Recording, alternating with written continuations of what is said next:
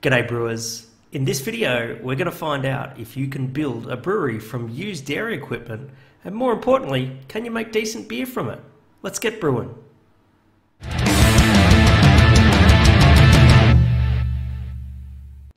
My name is Hendo and I'm from Rockstar Brewer. I help brewers grow their business by making amazing high quality beer that builds brand loyalty and is fun to make. If you want to know more about that, hit me up on the website. And if you're new to this channel, please consider subscribing.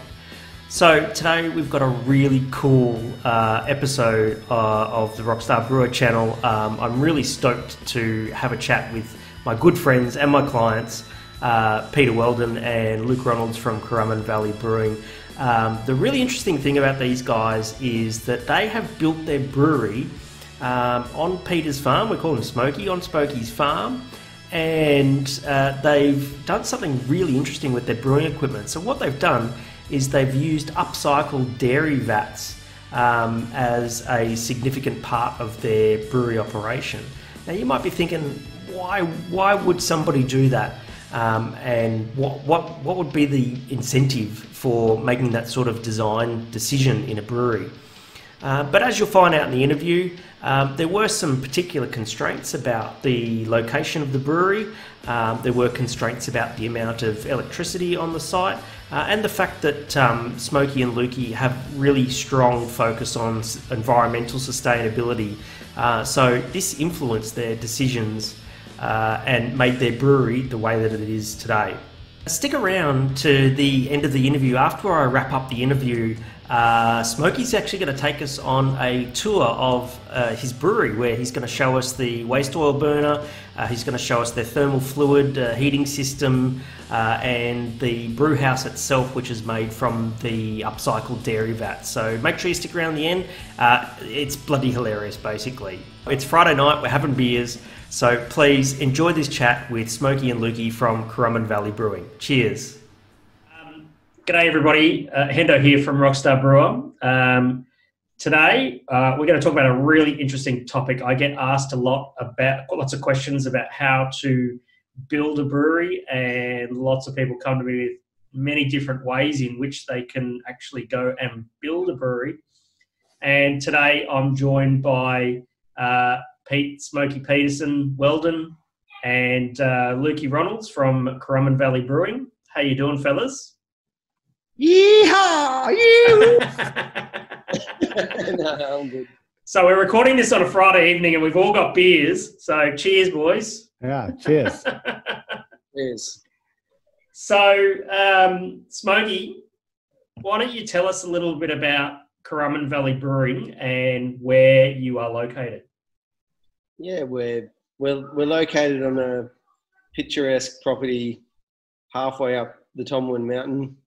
Um, that's got a beautiful little spring. It's very soft water that feeds it. Um, we look down the valley towards the ocean, get the sea breeze. It's old banana farm and you know, hundred year old, well over hundred year old um, ex banana land here.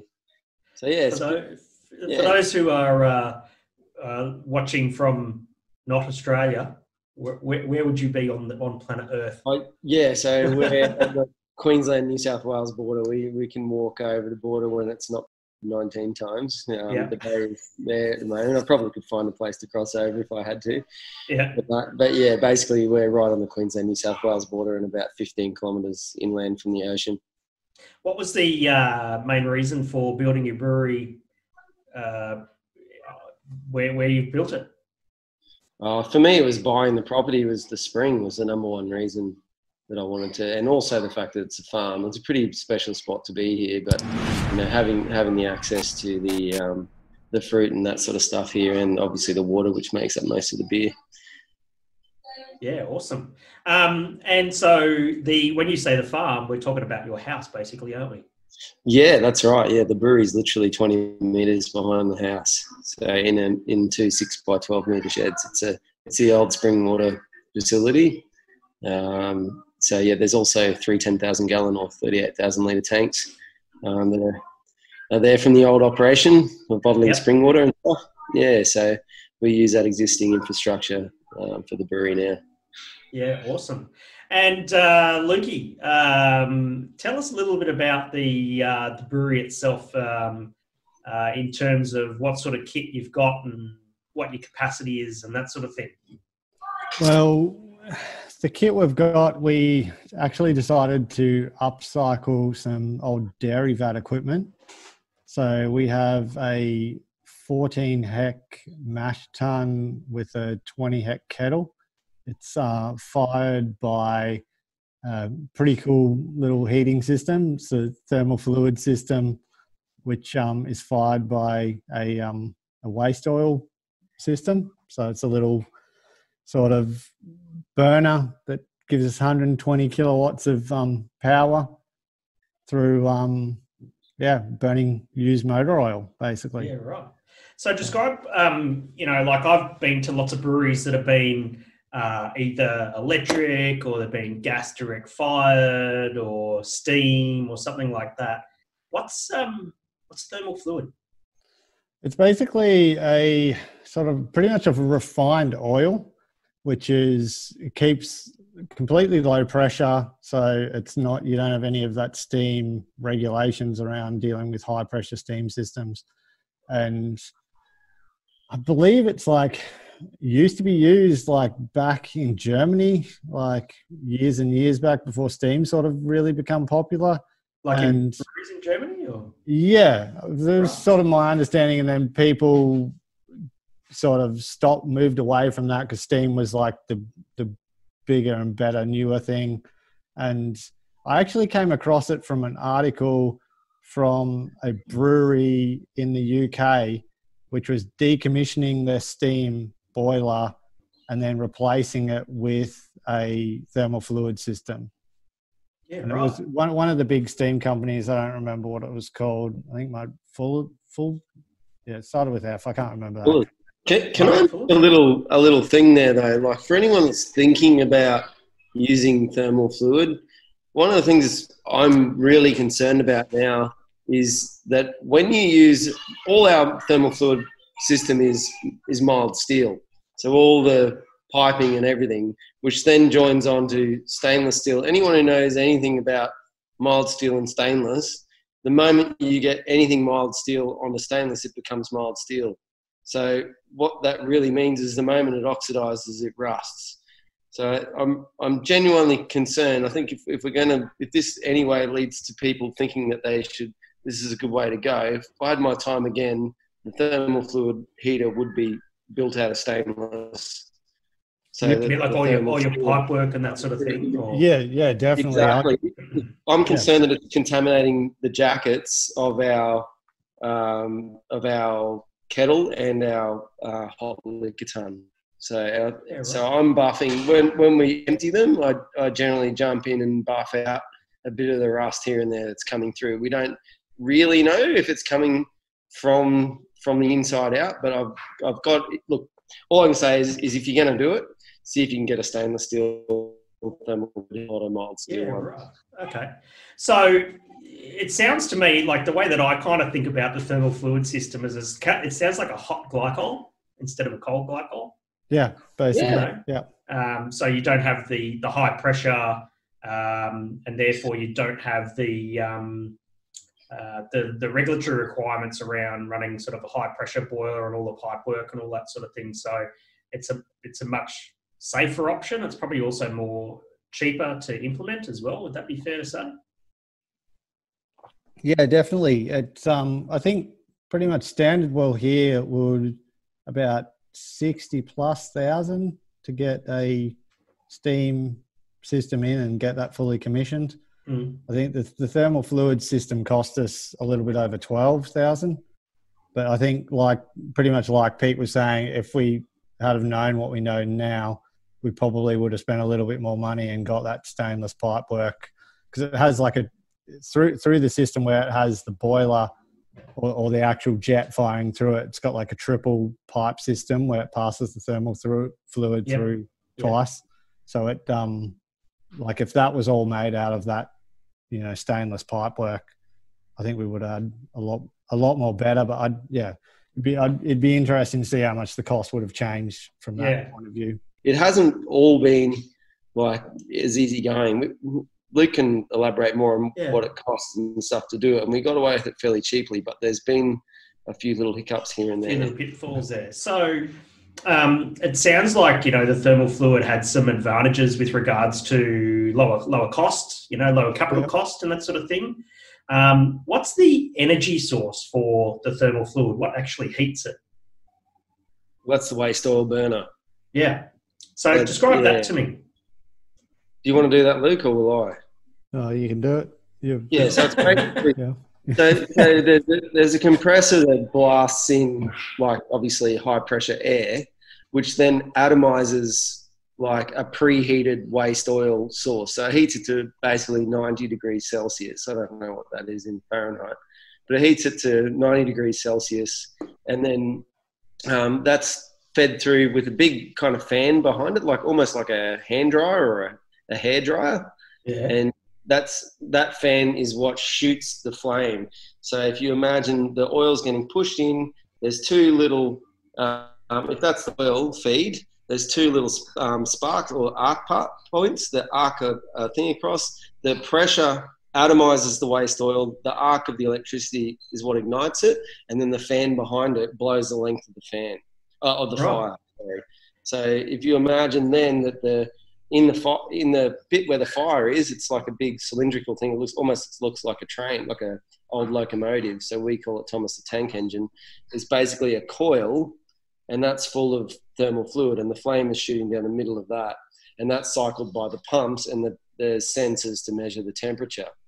So all all that happens is we're basically it's like on a thermostat, if you would, when it's heated up to where it needs to be, it, t- it turns the flame off, and then when it drops, it, it turns back on. So yeah. Right. Pretty much. how So, so that's um, that's pretty interesting. So, so you're telling me that this burner burns waste oil. Where do you get your waste oil from? well, we started we started off with with me um, going down to local mechanics. Um, you know, Crum, Currumbin's actually perfect for it in Currumbin Waters. There's, there's a lot of mechanics down there, so I was able. We just bought like a seventy dollar hand hand pump thing that, that screwed into the top of like. So a you're talking- you- So you're talking engines, used engine sump oil, basically. Exactly, yeah. So um, originally I'd go down and pump, you know, 240 litres at a time into 20 litre drums and in the back of the van drive them back up. But uh, when after about a year of operation, um, you know, just making sure it fit in with everything, everything, Lukey um, found the, a thousand litre IBC that we could get for a reasonable price. And um, at that point, we could afford it. But it, when you consider that we were taking oil for free to power the brewery, and now we're looking at paying what was it? It's about fifty cents a liter, I think. So Yeah. Yeah. right. yeah, So, so burning burning uh, waste oil, Lukey, that doesn't sound very environmentally friendly, is it?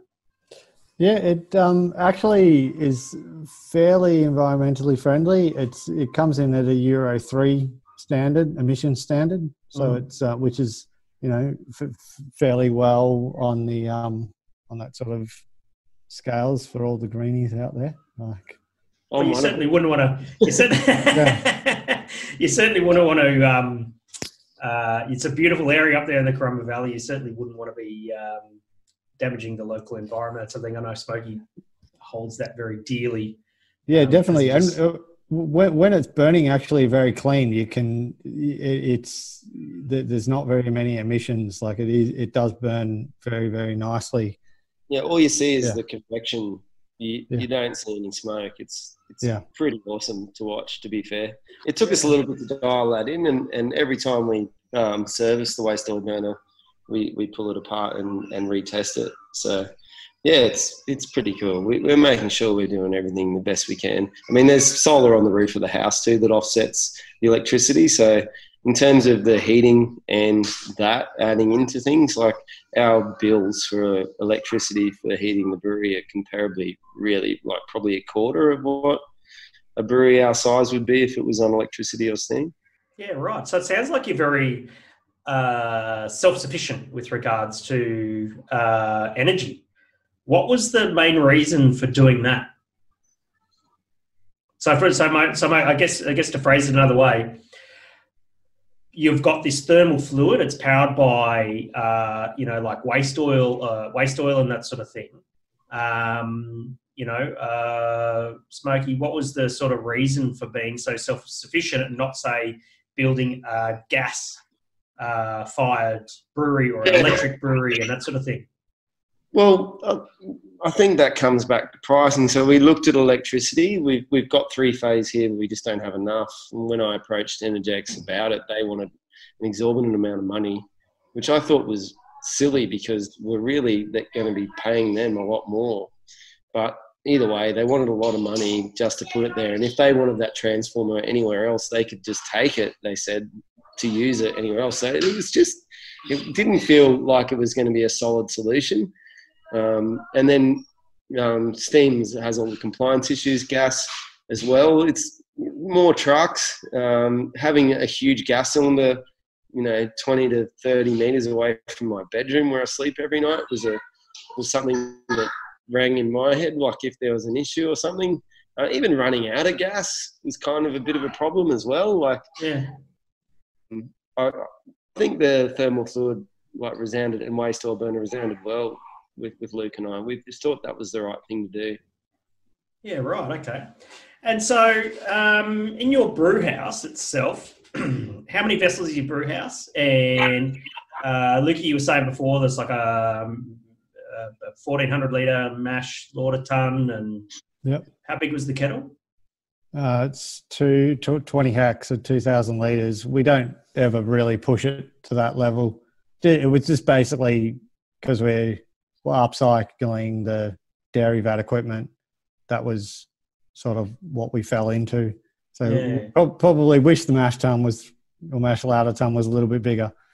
you might, might try and get a bigger one. I think it like yeah. you know served its purpose. What that one, but reality is it is a limitation at the moment. For we we push that we push that grist to water ratio, water grist ratio pretty pretty thick. Yeah. We've been able to um drop. We've lost glasses here and there early on in the mashing, but um, when we talk about mash paddles, we can rest like mash paddles on top of the mash, eh, like for stouts and and uh, NEIPAs. We've done it before for brekkie juice.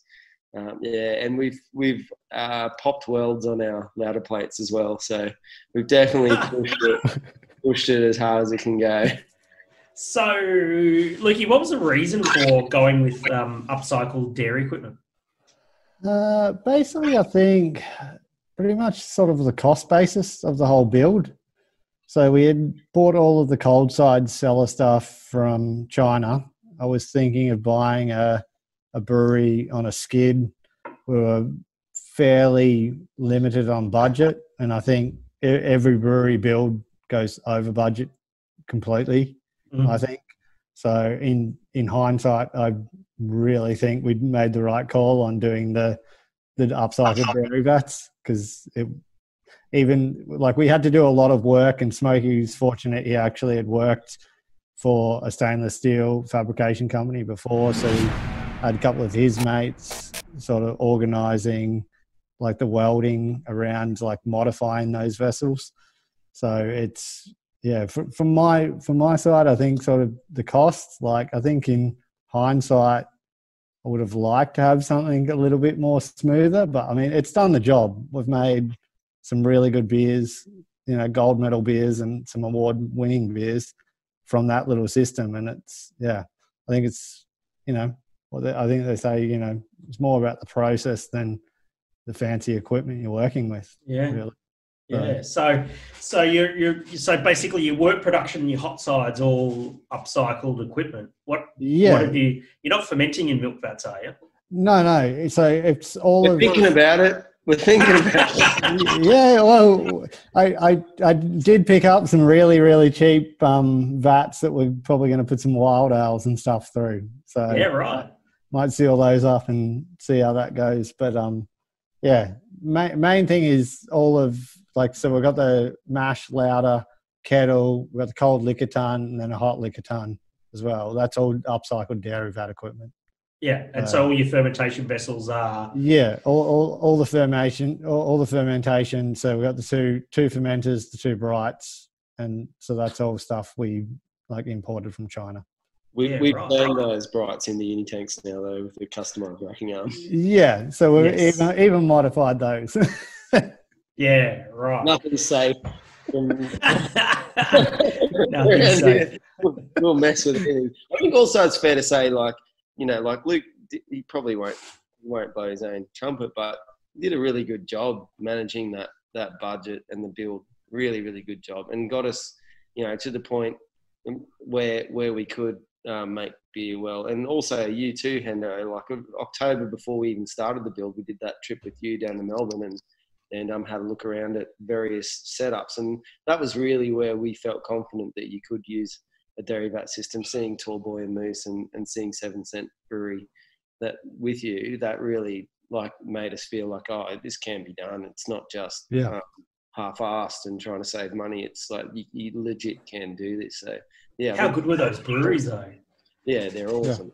Dan Hall does a great job down there, and those seven cent boys, they're mm-hmm. awesome. You know, so many barrels.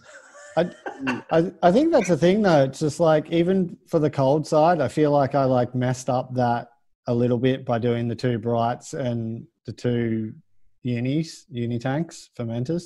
So like I just think like we weren't really sort of experienced well, I wasn't really experienced when I was buying or, or getting quotes on that sort of thing. So I think it's good to, you know, get some consulting sort of done like, I mean, I think if we had have discussed that with you a little bit more on the cold side, you would have probably, you know, helped us out a bit with that. And If by just, you know- consulting you, you mean us hanging out and having beers, yeah, yeah, yeah, and just if we had have told you, if we, yeah, if we if we if we had if we had told you what we were doing, we probably wouldn't have made a couple of gone- mistakes.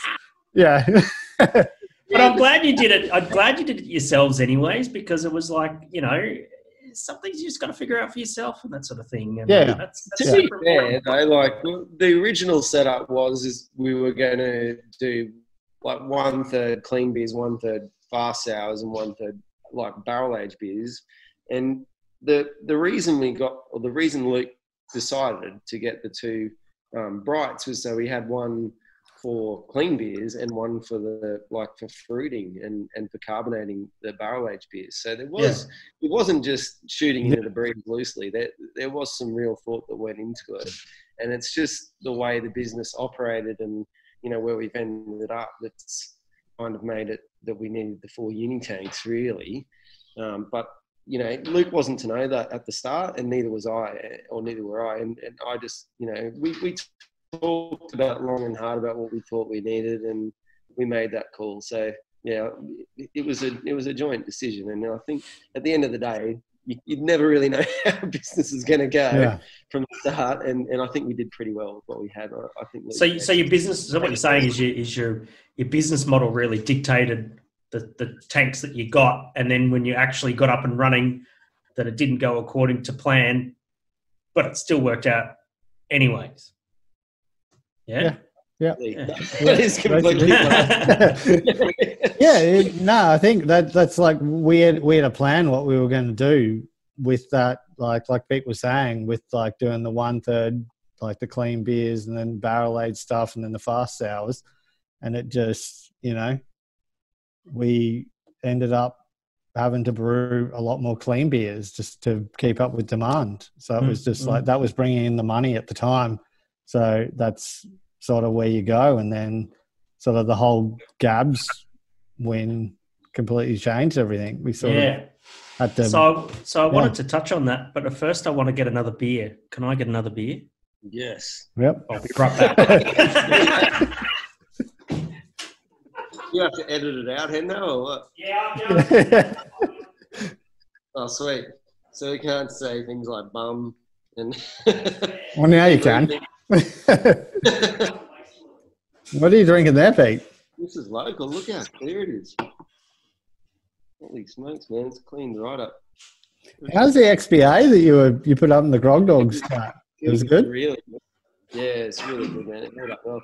It was just one can, and it was there on its own like last Friday. So you know how it's that psychological thing for people. If they see one can, they're like, "What's wrong with that beer?" Or Yeah, something. yeah, yeah.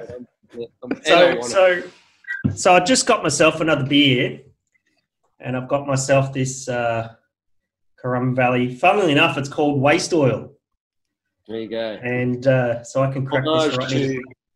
homage Yeah, to our trials and tribulations with waste oil. To trials and tribulations. oh yeah, it's, a, it's good stout. I love this beer. Thanks. I'm pretty happy with it. Cheers, legends. So, if you could, um, so Lukey, it seems like you played the the role of being sort of like the the brewery engineer sort of thing in in this particular uh, brewery build. Um, what if you could list sort of say two or three problems with going down the route of doing um, thermal fluid, waste oil, upcycled dairy vats. What do you think they would be now that your brewery is up and running? Um, oh, that's a tough question. I think I did. I didn't really have any problems ordering any of the stuff from China on the cold side. So any of any of the uni tanks and the brights. Like I think that went fairly smoothly. I think possibly the getting the thermal fluid system installed was probably a little bit over our heads or over How, my how head. so? I just do. We kind of bought the system, got it like sort of. It was being manufactured and stuff, and like I didn't have anyone that had that expertise on how it needed to be set up. So I spent quite a bit of time researching how you're going to commission one of these thing, one of these systems, and that, and um, yeah. So that I think that was sort of fairly like you know a bit of an unknown at the time but i mean it ended up working out okay in the end like we didn't Yeah. really have any problems problems with it um i think from a from an actual brewing perspective it's a little bit like i'd like to have a dedicated whirlpool ton just so we could move beer where it's Yeah. colder and like it you don't have that thermal fluid compared to steam where you've got something which will easily cool down a little like Talking like- about like carryover heat and that sort of thing. yeah yeah so you've got th- a lot of thermal fluid sitting around in the jackets which is a little bit harder to cool over whereas you just can pump it across into a whirlpool tun i think you're going to have a And lot get it off the heat sort of thing. And yeah get, get it off the heat and yeah especially if you're going to brew stuff like NEIPAs and that sort of thing like Yeah, absolutely. You don't want any of Where you- that. Where you want to do something like a cold cold whirlpool or Yeah, yeah, exactly. And um, yeah, I think yeah, it's it's it's a The waste oil burner's been a pain service wise too, Lukey. Like, Yeah. you don't really do it, but for me, it's like it, it, it like running it on the day is pretty labor intensive. Like, and it it's not automated, so we're running outside to turn on jackets, like to turn on the, the flow in the jackets and to shut them off for others, and like making sure it's not like the waste oil burner's not cutting out. And so, like, really, it, it's both of us there looking after it on the day. So we need to make sure the compressor's running. Need to make sure that like the waste oil burner is doing its thing and the thermal fluid is doing its thing. So the actual heating side of the brewery is super labor intensive, and then the servicing of it is a hot job. Like, you know, burn ring. It um, gets filled up with what I would assume is highly carcinogenic burnt oil kind of thing, and it's yeah, it's not nice to have to clean that. And um, yeah, the whole process, like degreasing everything, it, it's messy. It, like oil leaks, it gets everywhere. It's it's one of those things you need to think about if you're going to do this. So, like, you can plug anything into that thermal fluid heater. Hey, Lukey, like you, you can put um, gas into it as well, or um, Yeah. so that's another thing to, to keep in mind. But yeah, I think that's relevant to the question you were asking. yeah. So um, when you have to get in there and clean it, do you come out looking like the fucking chimney sweep from Mary Poppins or what?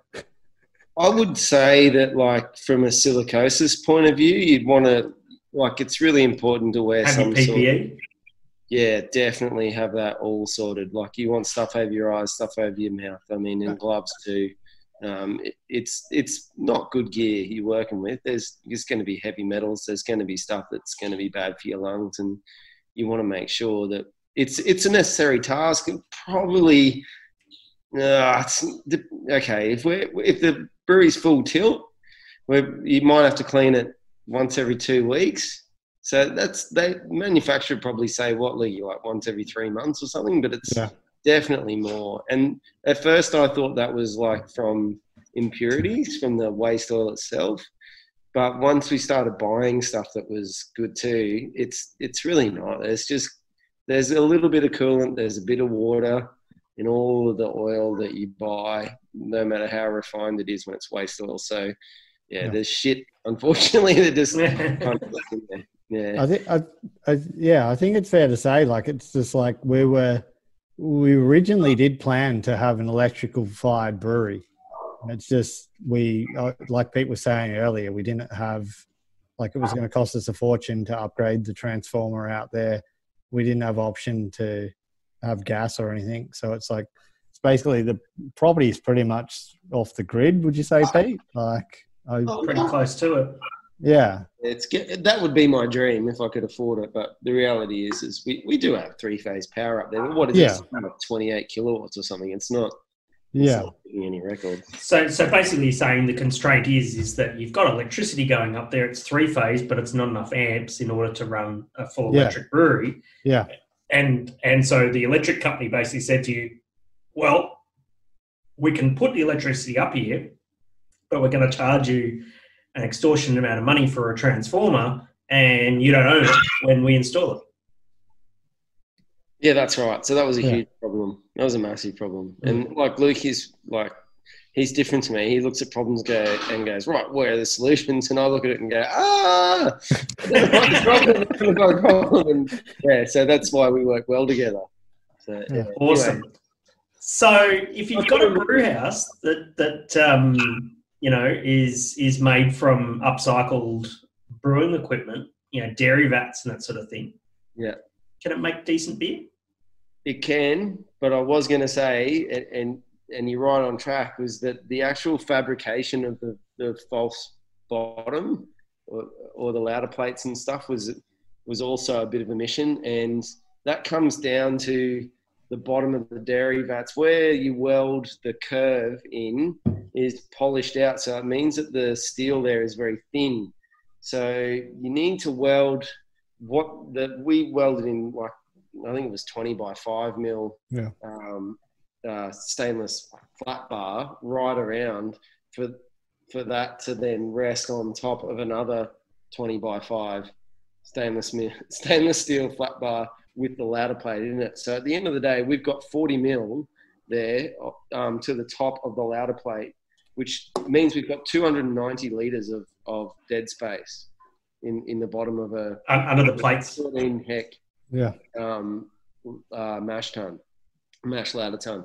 So if we were to do it again, we probably would have made that initial resting plate maybe like 10, 10 by 5 mil or something that, you know, because you, ha- you can't weld onto the thin part where it's polished out because you start blowing holes through the jacket with the welder and stuff. So you need to get right up above that. And then, so yeah, ultimately the biggest problem with our uh, mash tun at the moment is definitely the dead space that we have. And that's why we're doing these really thick uh, mashes. To, yeah, to right. You still didn't answer your fucking question though. Can oh, it make oh, decent beer? Jeez, mate. yeah. well, apparently, um, yeah, we don't go too badly. We, we did all right. Go on, don't be shy. Tell, give us the fucking rundown of your achievements. Well, well, we, well, obviously um, the Great Bubblegum Sour won GABS People's Choice, which was pretty pretty fun. But um, yeah, we did all right. We what XPA got our Grumman's Independent XPA had a bit of a bigger fun because um, we're mates with them. But um, it, it, got a gold and and um, what else did Lee? I'm trying to. I need to look at the picture. Beer Rocker did. Um, our, our, lawsuit. Beer. Oh, I had one of those last night. It was bloody good. yeah, and um, and what else? Uh, the Brett Saison picked up a silver, as did local. our pale ale, and then um, the stout got a bronze, which I think was a little harsh. I think it's better than the bronze, but anyway, that's Mm. me. And and uh, what was the other one? Uh, grape bubblegum sour. Great Bubblegum Sour, I think, got a got a medal as well. Yeah, I think bronze was it? Yeah. Yeah. yeah. So, so Lukey, how, how do you make good beer on upcycled dairy equipment? Well, we asked Smokey about that. Oh, okay. Let's ask. Luke. He's the man making a good beer on it. Yeah, well, you know, it's it comes into a lot of. I thought Smokey just stood out the back and operated the fucking waste oil burner or something. No. Nah. nah. Yeah, well, we all have goes at that, mate. yeah. it's a pretty interesting brew day. We run around a lot. We learn our keys. Um, yeah, look, I can't even remember the question. How do you make how do you make good beer on upcycled dairy equipment? Uh, th- th- I don't think there's much to. What's your secret? You need to give people on a- on a secret. good kit. Well, it's it's just making sure you're really cellaring, you're keeping keeping um, all of your data and stuff, and just trying to make beer well consistently, hitting hitting your numbers, and yeah, just really making sure we're not letting too much oxygen in and and being clean. You know, is there much more to it than that? Like as far as I'm concerned, that's that's what we focus on. Quality's number one, and um, Yeah. yeah, we and learning's number number 1.5 so yeah yeah we go we go pretty hard on, on both of those things um, and and also ha- having fun um, for me luke's taught me a lot about keeping cool i'm very reactive and luke's very just like wait a minute let's, let's work this out and breathe a tick and um, i feel sorry for him a bit that uh, having to deal with me but I, i'm really loving it so it's not just me luke and i both get the job done. It, that's that's how it works. Sounds like a good team effort. Absolutely. So, what's your future plans? That's Luke. Ah, well, we were pretty close to signing up or making an offer on a lease and expanding because basically where we are up on Pete's property, we don't have a tap room or anything. So from that was the natural progression was to open up a second site possibly and pr- pretty much we had decided to move the brew house to the tap room location and um, go from there. And um, yeah, all of So, this. recent circumstances changed that for now. Yeah, for now, I, I'm I'm still hopeful we'll have that happen by the end of the year. So I might be delusional with that. But No, I think I think Yeah, uh, I think uh, again Luke's being a bit humble. He, he's always onto it in terms of steering the business and looking after stuff, and um, particularly finance, financially massively. So um, obviously we got a big scare when all this stuff started breaking out, but yeah, Um, as Luke's pointed out to me, it's not a bad time to really be negotiating hard on leases. And we probably get more in the current environment um, than we would. Thank you, sweetheart. Danielle's just popped in with some food for me. Um, than, than we would in the, in a normal scenario. So, um, yeah, it's So It's it's really just become a bit of a wait and see thing for you now, yeah? yeah. Basically, I'm still trying to push ahead. Like we're sort of working out some of the planning, like how we're going to lay out the whole. We, we have a site in mind, and we're going to try work out how we're going to lay that out and everything, and you know, bringing the tap working tap work or tap house into the mix is um we don't have experience with that.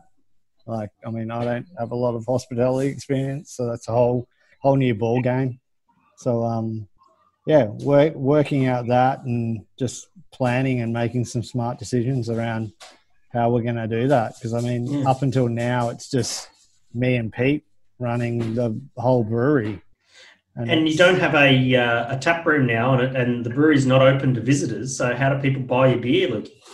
Yeah, well, that was Uh, when we originally started out. We were just doing the wholesale market, so just doing kegs to venues, and sort of we worked out. I don't know if we we worked that out, but picking up the GABS People's Choice, we sort of realised when that happened, we've got to put beers in cans and just get them do the direct to consumer thing. So selling from our website, the website's still an awesome, you know, source of getting cash flow into the business. So we get paid two days after someone buys on the website. So it's what is the uh, web, what is which website is this you're talking about? It's currumbinvalleybrewing.com.au. Uh-huh. Please put that on the screen though, Hendo. Like, yeah, yeah, I can do like all flashy shit and that sort of Yeah. thing. the main thing is, is like Currumbin is the most. Currumbin Valley is the longest friggin' name that no one, unless you know, no one unless you're Australian, is really going to have a clue how to spell that. Yeah, but would you would you be anywhere else though? Hell no, not me. Nah, It's bloody beautiful up there. So um, hopefully over the course of this, we'll have uh, overlaid a little bit of video from Smokey uh, on what the uh, what the brewery looks like. We may do a bit of a guided tour after this and that sort of thing. It'd be really cool.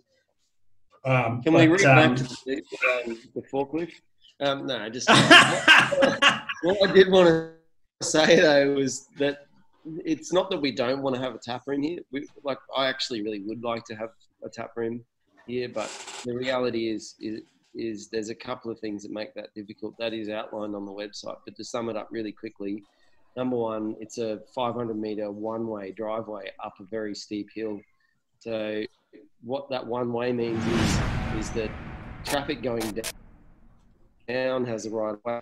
Reversing up a hill is actually physically very hard for a lot of cars, particularly in the wet. So you have to give way to the vehicles coming down. So if you're coming here for the first time as a visitor, you want to drive up a hill it's really challenging anyway, and then suddenly you meet another car in the driveway and you've got to reverse all the way down.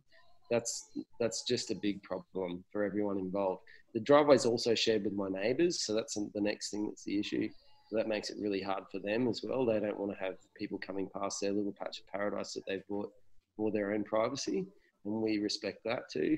And ultimately, I think a lot of those things have been played into the fact that the council, the Gold Coast City Council, didn't let us in our development approval um, have a tap room. And then ultimately, number one, Daniel's going to hate me for saying this, but my partner also didn't want us to have um, strangers coming up here to drink beer at basically my house or our house. So um, yeah, so all those things play into why we couldn't have a tap room, and tap rooms mean retail margin for a business like, like a brewery, and um, we're very fortunate that Luke was able to set up another means through the online store, which he's done all on his own, um, to to really get the retail margin into the business. And I would think that it wouldn't work at all. We would have hung up at this point if it, if it wasn't for that. So yeah, it's well worth noting that you can't wholesale kegs with a very tiny brewery.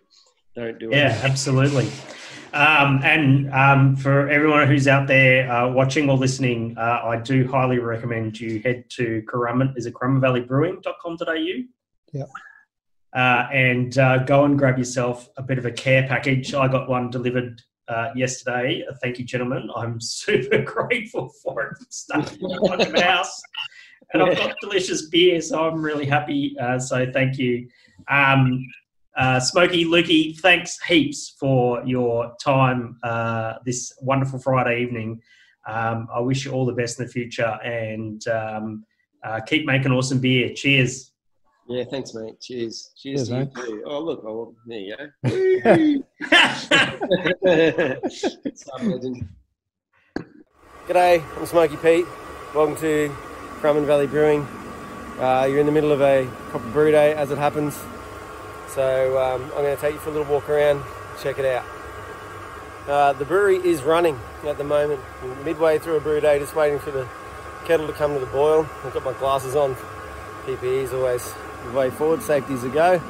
Um, so what you're going to see is not the cleanest side of the brewery. I mean, obviously I'm out here now walking in on the grass, so I'm walking there with dirt on my feet. Right, rah, but and also, you know, it's kind of ramshackle because we got these kegs and now we don't really need them, and uh, there's all sorts of stuff going on. Uh, yeah, so I'm Smokey Pete, as you know. Uh, you can, ta- and I'm eating my lunch at the same time, which is an apple brunch, I should say. No breakfast for, for me. Nice early start. So yeah, let's kick it off there and I'm gonna spin this around and you can see. So what we're looking at now is kind of the operating power plant of the brewery. Uh, the vessel at the front closest to me is the cold liquor tun and the tower up the back that has the two big white things in it with the solar hot water is the glycol tower. That's refrigeration for this. The next part is a hot liquor tun. Uh, you can see, and the waste oil burner plugged in there. See where that orange cord's going? That's the waste oil burner and it's plugged into the thermal fluid heater here. It's gonna be a little hard to hear, but I'll just give you a look at it. Basically inside that green part is a, a coil with the flame of the waste oil burner shooting down it. That uh, pump you can see spinning in the middle right corner of the thing there is pumping the thermal fluid around that coil as the heater goes through it. Um, any flame or stuff in the flames coming out the chimney up there, you can see it's basically, that's Euro level 3 emissions, that is burning clear. So we've got, well I've got it dialed in, so it's not buggerising around. Um, yeah, that's basically it. And I don't know if you can see it properly, but on the other side of the hot liquor tun is the, the IBC full of waste oil. So I used to hand pump 20 litre containers of that. Do you mind, Cheeky? Come on, mate. I'll let them out when we're not brewing. They're normally free-range birds, but not at the moment. Uh, and our keg washer that we got from Black Ops, their old one. We've actually upgraded the elements in it and tweaked a few things to get it to work for us. Uh, it washes two kegs at a time. It's very, very manual. Nothing's automated. There's all the levers. We had to buy new valves. Uh, the old ones are pretty stuffed. Uh, here's our mill. State-of-the-art Tiantai Chinese piece of kit. Uh, that 30 litre keg fits perfectly in there, otherwise my chickens roost on it. So um, that's there to stop them doing that. Uh, there's also uh, carbon dioxide there and a fire extinguisher in case we need it for any reason, especially around the mill. That's very flammable. Don't smoke and mill. Uh, righto, let's go for another walk. This is like the storage side of the brewery here. Yeah, we've got an on-site cold room. It doesn't hold a lot. It's mostly yeast and hops and um, then just some cans uh, and a few other bits and pieces of things that we need. Uh, there's also a heap of heap of boxes for the canning. So what we sold, they go back there. So we're just about ready to start canning again. Um, and then the rest of it's sort of like my tool shed for, for the farm. So my tractor and a lot of my gear. So that's that. Boom, the old Kubota. So I've, uh, this is now the, the, all our vats, a whole four of them and our CIP unit. Luke is cleaning the tanks today. I did them yesterday. We're brewing in tank one. He's cleaning tank two and three today, hopefully. All things going well. Uh, with the current restrictions uh, on kegs, we're making two, we're doing a double batch of sours, hopefully, tomorrow. I'm gonna run that and hope to fill those two tanks. Um, our dairy vats are uh, upcycled, sorry, our, our brew house is a two vessel upcycled dairy vat system, um, which is in, in operation at the moment. So um, unfortunately, my, my sparge arm setup's just fallen down. But basically how it works, which is pretty funny, just mind my apple, is that sits on there like so and, um, and sprays the water out over the top of the mash bed. Uh, there's our grain in there. I'm about to shovel it out, but I thought I'd take this video just before I did. And to show you the lauter plates, um, I scraped a bit of it out of the way. They're basically what's called wedge tech. We cut them in four pizza sized shapes to stick them in there and they're up and going. Uh, the kettle is here, it's a 24 heck kettle um, or old dairy vat. Uh, what else is going on? Sorry in your way, I'll just get this done. Um, yeah, so there's a heat exchanger in the middle. We custom built all that piping just to make sure that um, we can make this brewery operate. Uh, I'm not going to open the lid on this because we're heating up some uh, lacto starter mix there. Um, before we pitch the lacto in it. But um, this is getting ready to, to boil, I would assume. So yeah, but that at the moment that's pretty full of wort. It's 1500 litres of wort in there. It's going to be XPA. Uh, a bit of lab stuff here. Uh, bin, you know, beer, all sorts of stuff happening here. Uh, but swing around and look down the back now. Um, see Lukey's still working hard like a champion. Um, and then basically our lab bench and a little tiny bit of storage. I mean, we're extremely limited with our space in here now. Uh, we've got grain, our bottling lines up the back, uh, and then just sort of open bags. So some shirts there on the ground, heap of uh, gas bottles stored. Yeah, there's there's really not a lot of space left in here for us, but we've done the best we can. Phew. It's messy, but we're in the middle of a brew day. Rock on. All right, I hope that gives you a good idea of how our brewery is operating. Uh, it's a pretty special setup. There's solar on the roof too. I could probably show you that as well, but maybe another time. But yeah, basically, uh, we're running a fairly sustainable operation. Thanks for checking in and checking it out. Don't spend too much time looking at our floor. It's going to be fixed soon.